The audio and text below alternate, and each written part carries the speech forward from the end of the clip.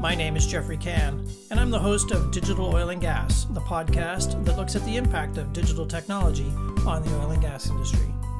If you want to discuss this week's topic further, or just stay in touch, you can always reach me at Geoffrey Cann on Twitter or at geoffreycann.com. This podcast is entitled A Unifying Framework for Digital in Business.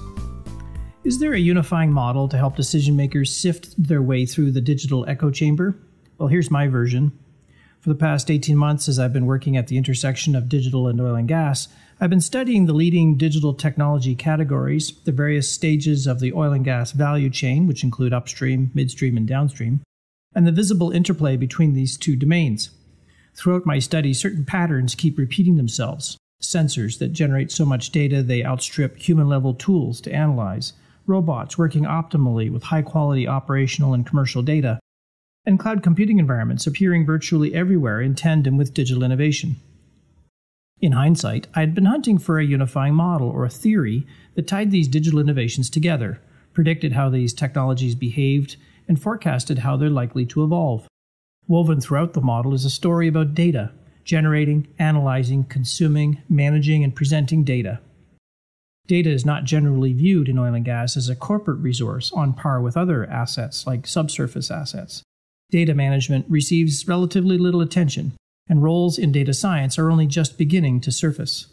Accountability for data in oil and gas is diffused and fragmented. But frankly, winning at digital means winning at data. The first element in the model is the Internet of Things, things that generate data. Sensors generate enormous quantities of new information with great diversity in form and content and at ever declining costs. They're appearing on virtually everything pumps, valves, vehicles, vessels, and people. Oil and gas, as an asset intense industry, drives demand for internet connected things. The trajectory is pretty clear smaller, cheaper, more capacity, lower power, encrypted, and connected. More smarts embedded in the sensors means that these devices will be able to do more and take on more local work. So instead of 10 unique sensors on a thing, there will only be one super capable sensor. The next element in the model is artificial intelligence. Only the modern tools of machine learning and artificial intelligence are able to process the immense volumes of data that these sensors generate. The breakthrough technologies of the 1990s, spreadsheets and personal computers, are not up to the task of storing, manipulating, and analyzing the rapidly rising tide of data. Spreadsheets are not going away, but they're no match for the kinds of processing needs we now face. Artificial intelligence drives demand for data science professionals and is a key reason why universities and technical schools are rapidly revamping their training programs to incorporate more emphasis on the data professions. The amount of money and investment pouring into artificial intelligence, coupled with the phenomenon of fleet learning, that is, individual AI engines that share what each other learn the instant they learn it, point to constantly falling cost and improving capability.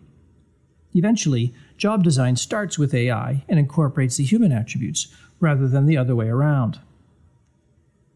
Next, robots apply the data. Autonomous technologies, or robots, consume this AI interpreted data to carry out real work. Heavy haulers in the oil sands mines are good examples. Their onboard cameras and sensors feed data into AI machines to interpret the real world and its hazards, and the hauler starts, stops, turns, and accelerates. For the moment, a human controller is manipulating these machines, but in time, even that task becomes unnecessary. And robots are not confined to the field. Increasingly, robots are office bound, and others exist as services available in the cloud, accessed through a web browser. In the future, Many industrial machines, like air conditioners, water pumps, sprinklers, and compressors, will have onboard AI capabilities through which they will make increasingly smart decisions. These decisions include given a set of changing conditions, when to run, at what pace, and using what resources, at what cost. Today, only humans can make these decisions, or don't make them at all. And cloud stores the data. Cloud computing is the logical place to store all the data and house the analytics. Companies can use their own proprietary storage and computer systems, but cloud is much faster to deploy, is more secure, and can ramp up and down more easily. The volume of data in play suggests that a cloud strategy is pretty much a one way street. There's no reversing course. For technology providers, cloud is very compelling. Instead of developing for multiple database environments, they select one on which they will become very capable. Upgrades and patch releases are executed with agility, no more years long upgrade cycles. Amazon is said to release hundreds of thousands of software updates a year, something not possible if Amazon software is installed on all kinds of different customer premises. Software distribution is via download from stores, not shipped on CDs. Users subscribe to services rather than obtain licenses to use, a model that is much easier for businesses to control. All of those sensors that I've mentioned need the occasional or frequent patches to deal with viruses and attacks, too. The only practical and cost effective way to maintain software reliability on these sensors is through cloud enabled subscription and distribution. Cloud contracts are very easy to acquire and are often embedded inside service agreements, and companies find themselves with hundreds of cloud enabled solutions over time, driving interest in cloud interoperability, data standards, and integration between cloud environments. The end of the traditional software business model, which has many implications for how companies govern their use of technology, is rapidly approaching. Next, blockchain, which provides trust.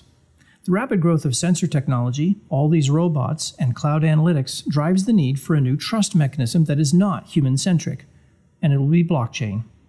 Blockchain technology monitors the state of the sensors, data movements, the AI engines, and the robots to assure that they are reliable and not compromised. By assuring trust, blockchain confers agency on the robots, allowing them to operate without human supervision or human intervention. This has spillover effects on traditional people based business processes, such as loyalty. Robots with agency might not be influenced by loyalty schemes. Blockchain opens up entirely new business models, such as asset sharing. Instead of a business needing to own an asset, it can subscribe to the asset and pay only for the cycles consumed, which are recorded with trust on blockchain. Balance sheets are transformed when long life, low utilization assets can be available only when needed. And ERP systems, enterprise resource planning systems, enable the commercial environment.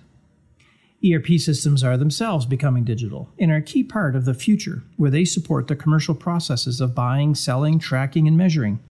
In time, blockchain technology displaces some commercial functions too, but for the time being, ERP is going to be the commercial backbone. ERP systems now embed artificial intelligence engines and blockchain support within, which makes them potentially much more useful across a broader sweep of the organization. Integrating operational assets with commercial ERP data is a defining feature of digital. A compressor uses its own onboard AI capabilities to decide which power source to use based on incoming weather and the market price of power, contract for that power, and then pay for it as a single integrated transaction. Next, agile methods are how digital gets done. Digital innovation requires faster ways of getting things built and deployed, and Agile is the language and method of streamlined work practices. Hand in hand with Agile are faster ways to introduce change to operating environments, or DevOps, and better ways of interacting with technology, or user experience, UX. The logic of separate technology organizations, one for commercial technology that delivers business change in one fashion, and a completely different organization for operational technology, and managed in a completely different fashion falls away. IT and OT need to work together to deliver digital solutions and need a common way of working. Agile is the basis for that collaboration. Industry leaders today merge their IT and OT organizations into one unit with one executive accountability. And finally, people manage change.